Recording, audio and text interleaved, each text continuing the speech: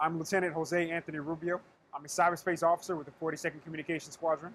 My favorite part of the Air Force is being able to travel and meet new people, be part of a mission, be a part of something bigger than yourself.